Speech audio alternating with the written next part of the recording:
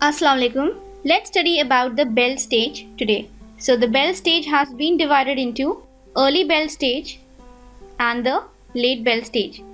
So in the early bell stage, the crown shape is determined. The crown shape is determined and in the late bell stage, there is mineralization, mineralization, mineralization and there is root formation, root formation.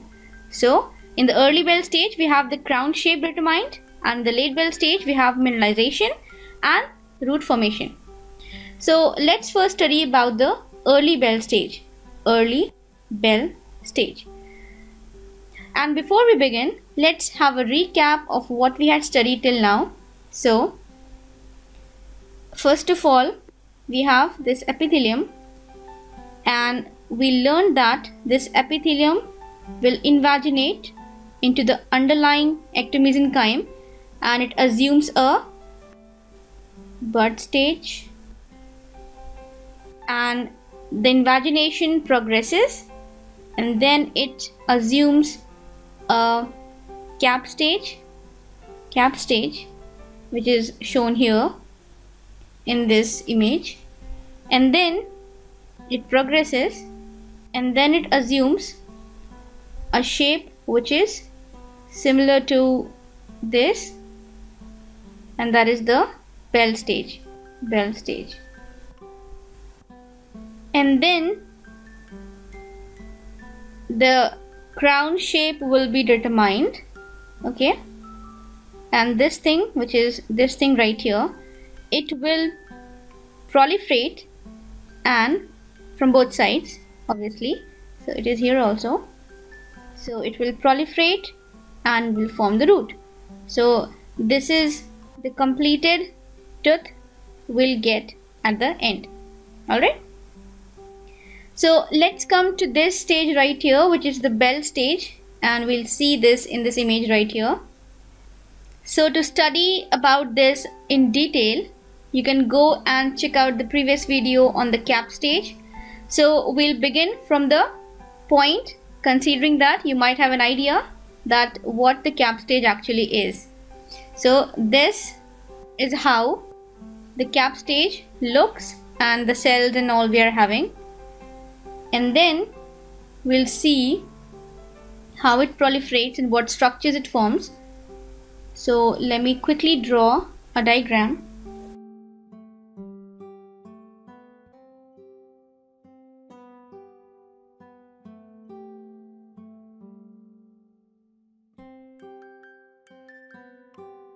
So in this image we can see that the epithelium has invaginated and the margins have continued to grow so that the enamel organ now assumes a bell shape. Okay. So first it was thought that the shape of the crown it is due to the pressure exerted by the growing dental papilla here. So people used to think that this exerts pressure here on the enamel organ and it determines the shape of the crown. But this pressure is shown to be opposed equally by the pressure which is exerted by the fluid which is present in the stellate reticulum. So we have here the stellate reticulum which we had studied in the previous video. So the fluid which is present here they exert an equal force to oppose the force which is exerted by the dental papilla.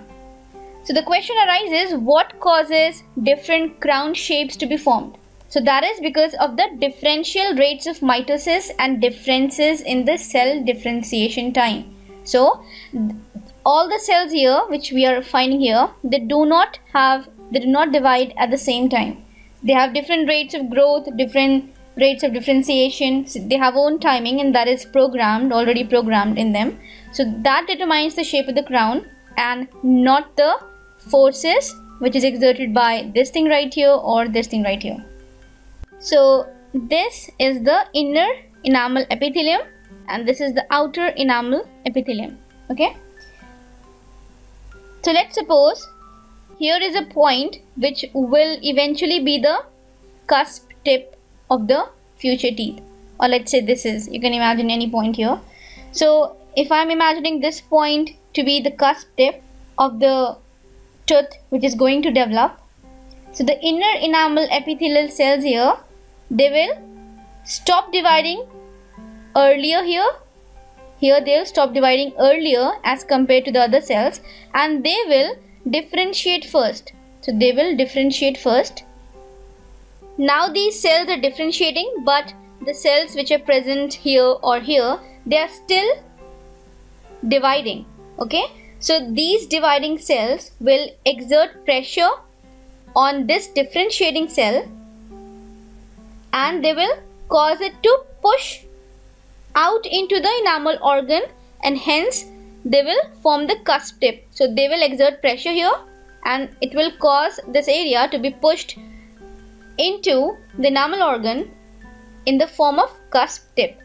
Similarly, if we have another cusp tip here, it will also be pushed by these cells and again we have a cusp tip.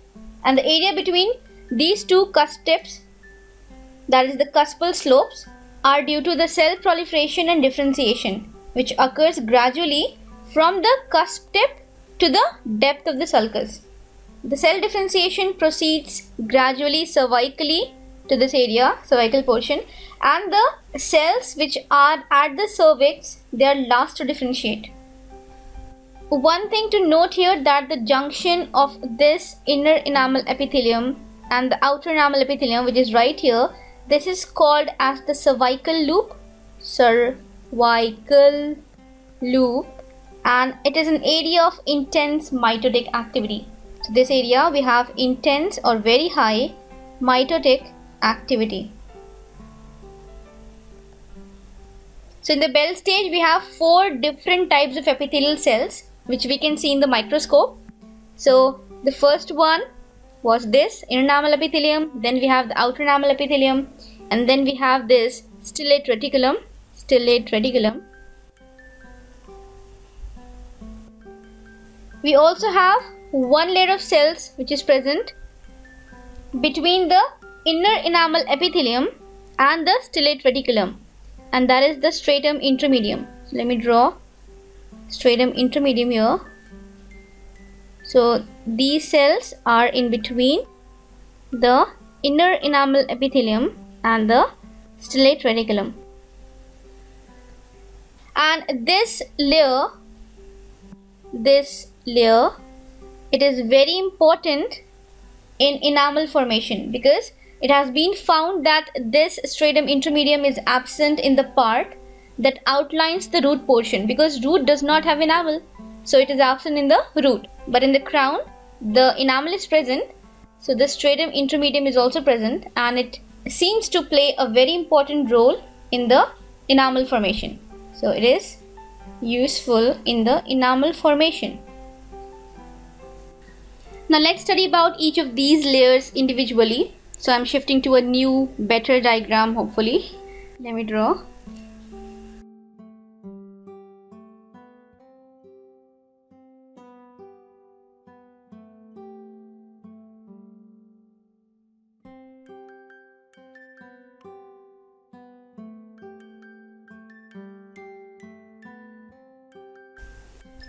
So we have four kinds of cells. This is the outer enamel epithelium.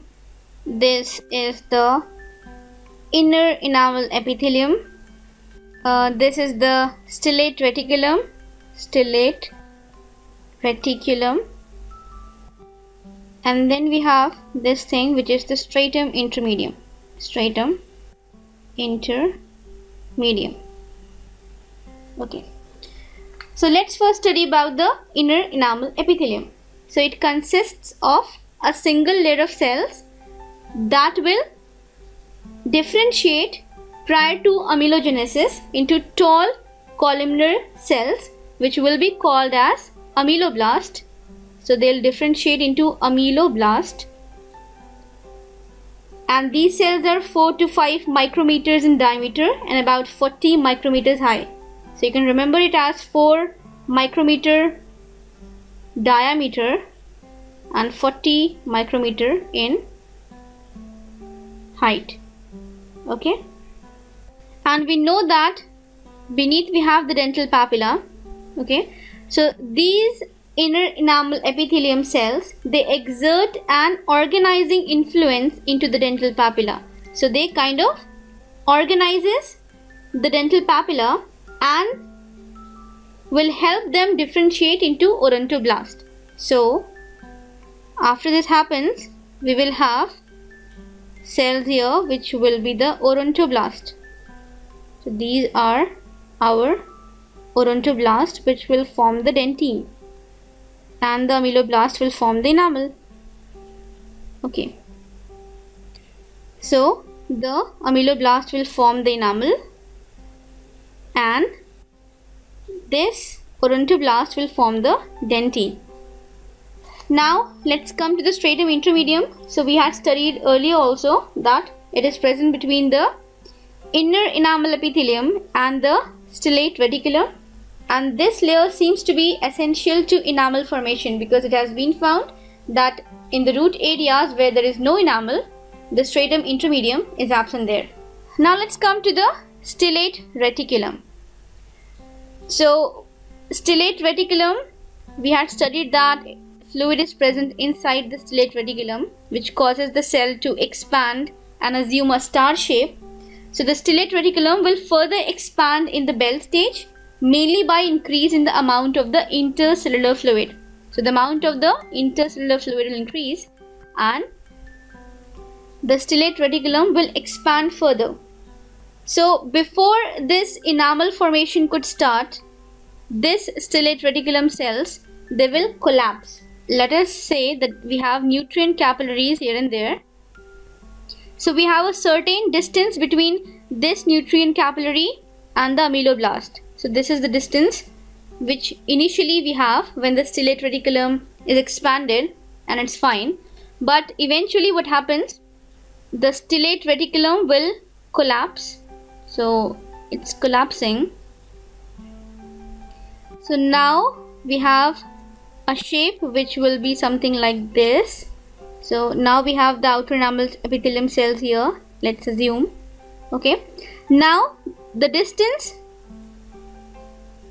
between the nutrient capillary and the ameloblast will reduce. So a new distance, let's say, will be from here to here.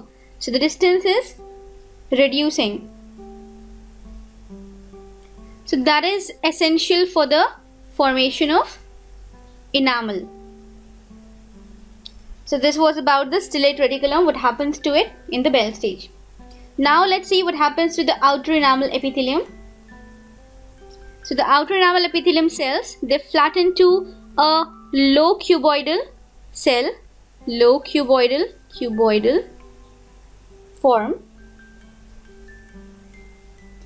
And at the end of the Bell stage, which is, uh, you know, during the formation of enamel, which is preparatory to and during the formation of enamel, this smooth layer, which is visible here, it will be laid in folds. So, this will be laid in folds. We ha will have folds of outer enamel epithelium. And between the folds, the adjacent mesenchyme of the dental sac. So here we have mesenchyme all over, right? So between the folds, the adjacent mesenchyme of the dental sac will form papillae that will contain capillary loops. So this area will contain capillary loop and thus will provide rich nutritional supply for the intense metabolic activity of the enamel organ.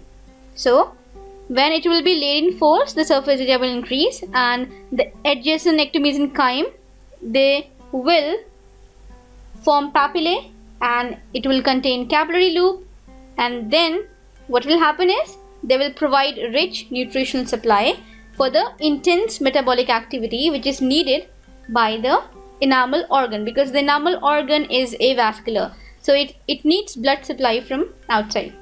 Now let's talk about the dental papilla here. We have already covered it almost. So the dental papilla, it will, as we studied, it will form into cells which are called as odontoblasts, which is in this red thing. So first they'll assume a cuboidal form. So first these cells, they will assume a cuboidal form cuboidal form and then they assume columnar form and then they'll form they'll assume columnar form and then they will acquire the potential to produce dentine. One important term is membrana performativa. Membrana preformativa, not per, it is preformativa.